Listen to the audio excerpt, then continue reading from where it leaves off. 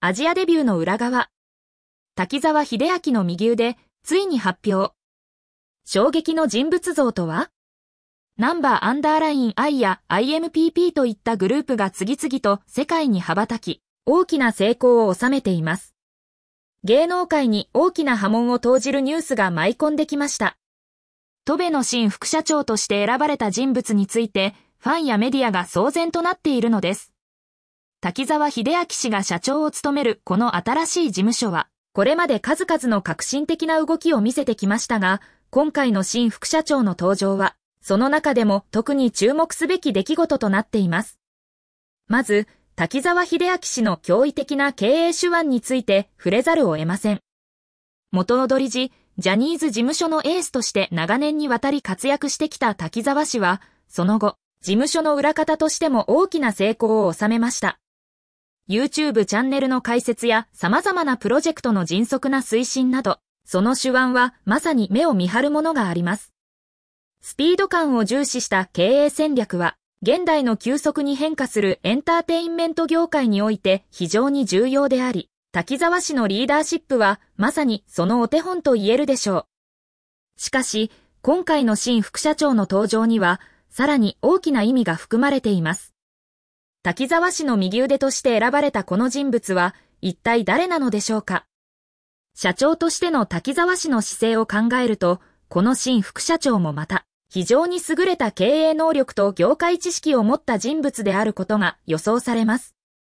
これまでの情報では、新副社長の詳細なプロフィールや経歴は明らかにされていませんが、業界内部ではその実力が高く評価されていることは間違いありません。さて、この新体制のもと、トベがどのような新しい展開を見せるのか、非常に楽しみです。特に注目されるのは、平野翔、神宮寺雄太、岸優太の3人が参加する新ユニットナンバーアンダーライン I の活動です。彼らはすでにアジアデビューを果たし、その第一歩として様々なパフォーマンスを披露しています。ファンからの支持も非常に熱く、毎日がまるでお祭りのような盛り上がりを見せています。彼らの活動の中でも特に話題となっているのが SNS での投稿です。平野翔が中心となり、神宮寺雄太とガン雄太が一緒にダンスを披露する動画が X にアップされ、その視聴数は瞬く間に100万件を突破しました。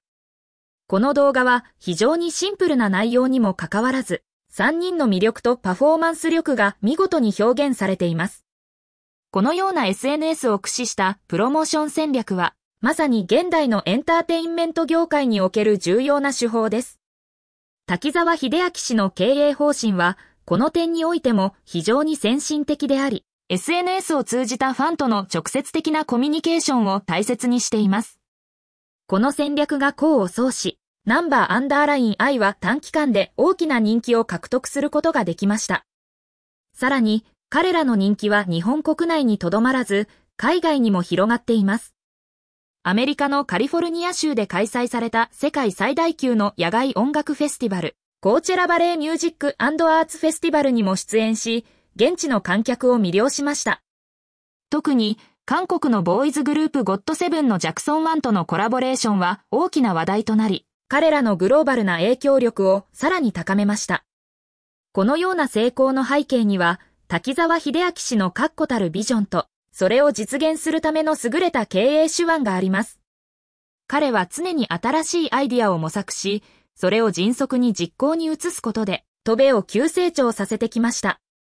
その結果、ナンバーアンダーライン I や IMPP といったグループが次々と世界に羽ばたき、大きな成功を収めています。特に中国市場への進出は非常に戦略的な動きと言えるでしょう。滝沢氏自身が中国の SNS であるウェイボに投稿し、自らの存在感をアピールすることで、中国のファン層を確実に取り込んでいます。これは日本国内だけでなく、アジア全域におけるファンベースを拡大するための重要な一手です。このようにして、トベはまさに国際的な企業としての地位を確立しつつあります。しかし、ここで重要なのは、その急成長の中でいかにして安定した人気を維持し続けるかという点です。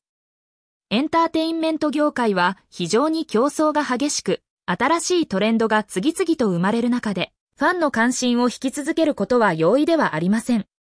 滝沢氏と新副社長のリーダーシップのもと、トベがどのようにしてこの課題を克服し、さらに大きな成功を収めていくのか、今後の展開が非常に楽しみです。このような戦略的な展開の一環として、平野翔が広告キャラクターに就任した韓国のコスメブランドウンジョンヨのヘアケアラインも注目に値します。彼はその広告で非常に魅力的なビジュアルを披露し、ファンからは絶賛のコメントが寄せられています。このような活動を通じて、平野翔はアーティストとしてだけでなく、広告キャラクターとしても非常に高い評価を受けています。さらに、彼はイブ・サンローラン・ボーテのアジアアンバサダーとしても活躍しており、その影響力はますます広がっています。一方で、ナンバーアンダーライン I の他のメンバーも個々の活動で大きな注目を集めています。例えば、岸優太はマクドナルドの CM に出演し、その存在感を大いにアピールしました。こうした個々の活動がグループ全体の人気を底上げし、ファンベースをさらに拡大することに寄与しています。このような戦略は、まさに滝沢秀明氏の巧みな経営手腕の賜物と言えるでしょう。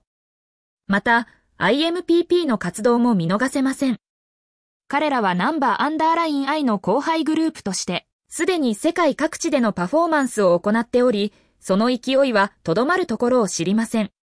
特に中国最大級の野外音楽フェスティバルに出演したことは、彼らの国際的な知名度を一気に高める大きなステップとなりました。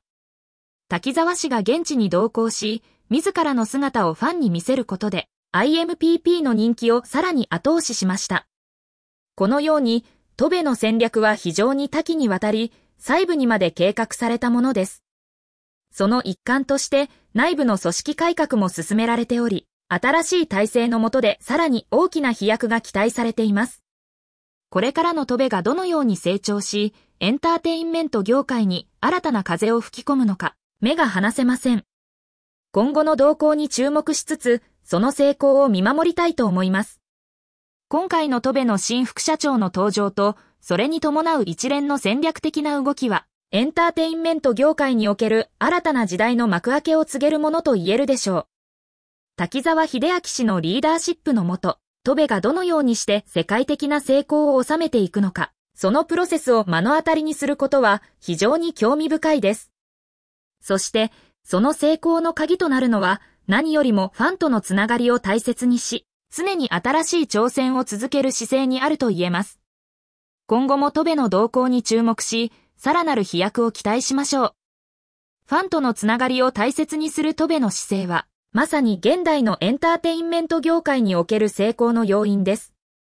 滝沢秀明氏は、常にファンの声に耳を傾け、その期待に応えるために努力を惜しまないリーダーです。このような姿勢が、トベの急成長とその人気の持続を支えています。新副社長の登場により、さらに強固な体制が整い、トベは新たなステージへと進んでいくことでしょう。ファンとのつながりを深めるための具体的な施策として、SNS の活用は非常に効果的です。平野翔、神宮寺優太、岸優太の3人が SNS で公開したダンス動画は、瞬く間に話題となり、多くのファンの心をつかみました。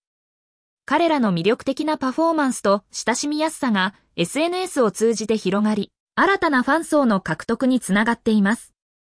このような戦略的なプロモーションは、従来のメディアを超えた新しいファンとのコミュニケーションの形を作り出しています。